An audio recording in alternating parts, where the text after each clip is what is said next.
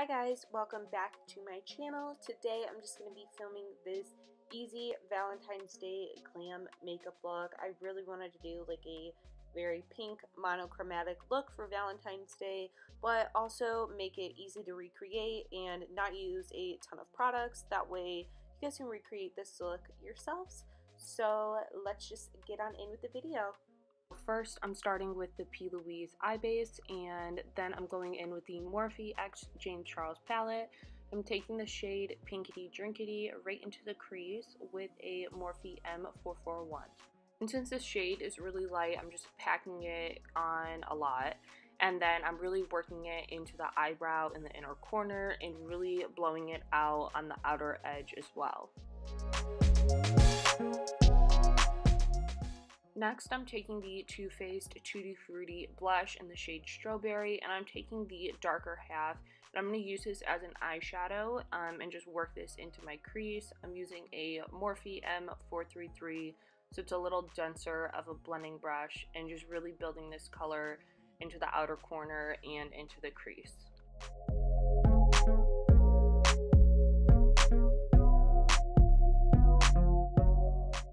Then I'm just going in with the last shade and brush and just really blending it and blowing it all out. Then I'm taking the white shade from the James Charles palette and I'm just using that to highlight my brow bone since I was really messy with the Pinkity Drinkity shade. Now I'm taking the Huda Beauty New Nude palette and I'm going in with the shade Tickle on a smaller Morphe blending brush and I'm just going to use this to further deepen everything up.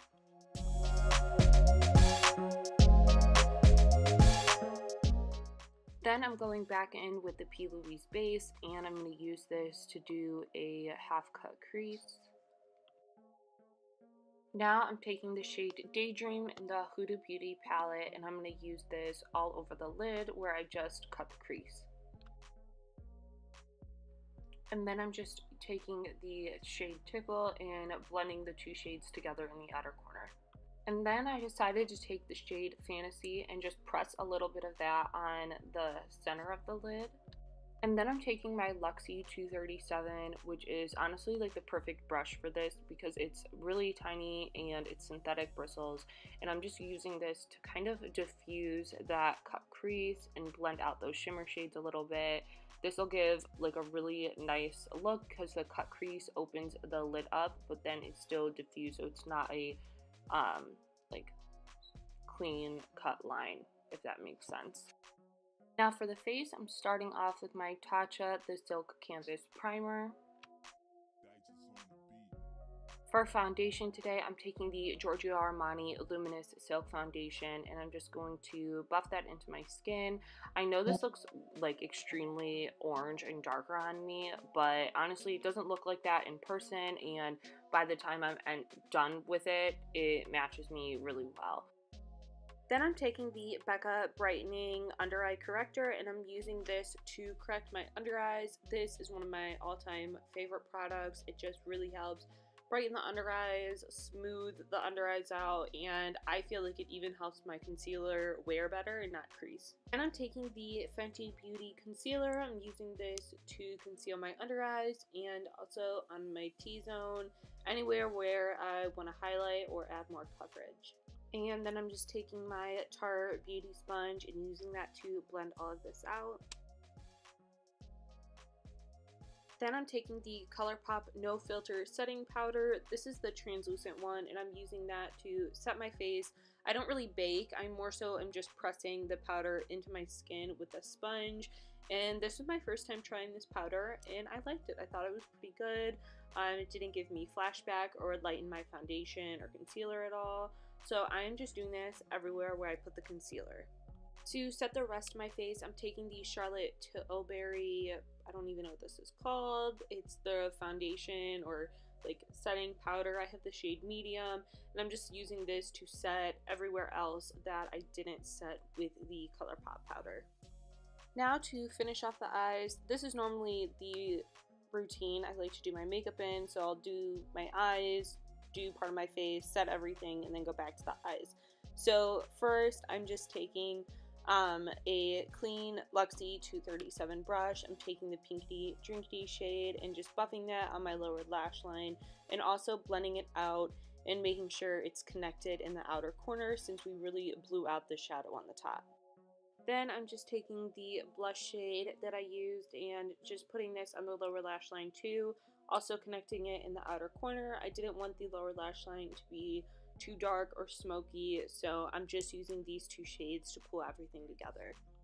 And then I'm taking the Stila Micro Tip Black Liquid Liner and I'm using this to do a wing and I also do it in my inner corner as well um, but if you're recreating this look, I'd recommend doing that at the end because when I did my inner corner highlight, I covered it and then I had to redo it. So if you don't want to do it twice, I would just wait to do it till the end.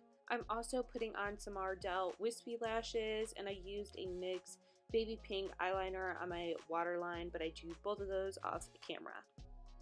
So I literally just got this in the mail as I was filming this video, so I decided to use it for the first time. This is the Sephora collection collaboration with Olivia Jade. So first I'm going in with a bronzer and using that to bronze up my face. Honestly, I really liked the bronzer.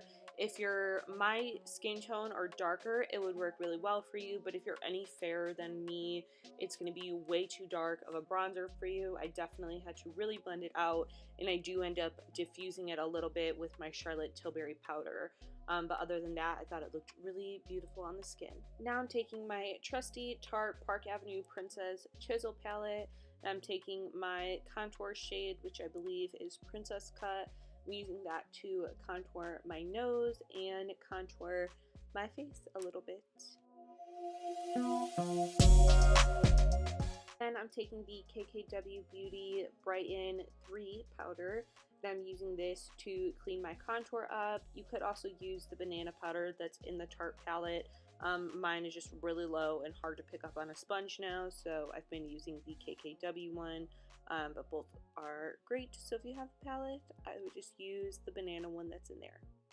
Then I just let that sit. I usually will clean up my brows at this point, and after a few minutes, I just go ahead and blend it all out. I don't have any new product on this brush. It's just the same brush that I've been using with that Charlotte Tilbury powder. Now I'm going back to that Too Faced Tutti Frutti blush, but this time I'm using it on my face as actual blush. I'm using both sides or both colors in it, and I'm just blending that onto my cheeks. I didn't feel like that shade was enough, so I'm taking the pink from the James Charles palette and just adding that on top. I'm pretty messy with it. Also trying to like blend it in the shadow and the outer corner. Then I'm going back in with the Olivia Jade palette and I'm using these two shades to highlight.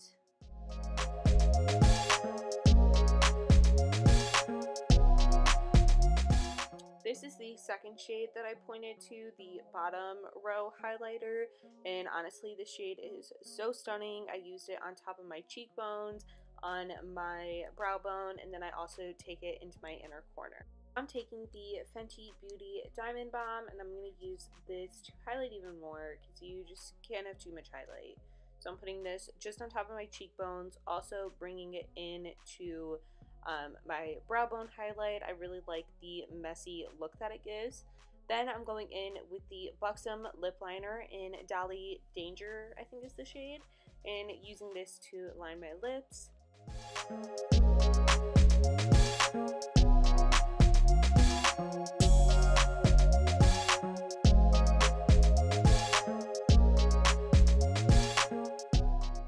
Next, I'm taking the Kylie Cosmetics Matte Liquid Lipstick in the shade Libra and just putting this on my lips and then I'm going to take the lip liner and blend the two together to get a really pretty ombre.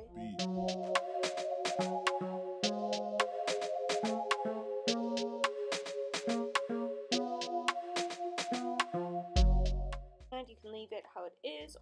I'm just going to top it off with the Fenty Beauty Gloss Bomb in the shade Fussy. And last but not least, I'm going to set my face with the MAC Fix Plus Gold Light Spray and then I just press that in with my beauty sponge. And this is the completed look. I hope that you guys enjoyed this video. If you did, please don't forget to give it a thumbs up and subscribe to my channel. Thank you so much for watching, and I will see you guys next time. Bye!